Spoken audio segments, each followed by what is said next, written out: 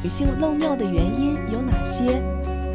如文医生特邀专家臧春义，首都医科大学附属北京妇产医院微创中心主任医师。女性漏尿啊，这个呢是影响女性日常生活一个非常烦恼的。所有的女性在四十岁左右啊，甚至有的比她更早的一些女性，都会有漏尿的症状。为什么呢？因为女性的尿道比较短，才四公分。